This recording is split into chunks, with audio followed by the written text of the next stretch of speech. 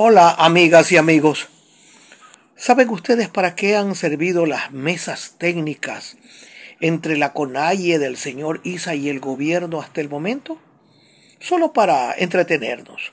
Con eso nos entretenemos. Allí se reúnen, se vuelven a reunir, discuten, no se ponen de acuerdo, no pasa nada, siguen, hasta que nuevamente entremos en otra crisis.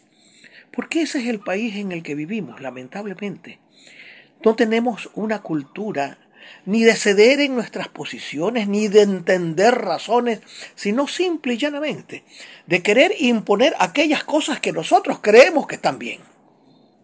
Así funciona este país.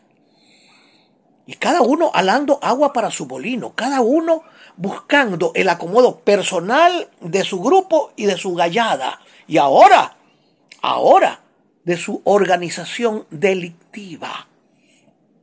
Ya no es organización política, ya buscan el acomodo de la organización delictiva. Y así el Ecuador, lamentablemente, se desangra.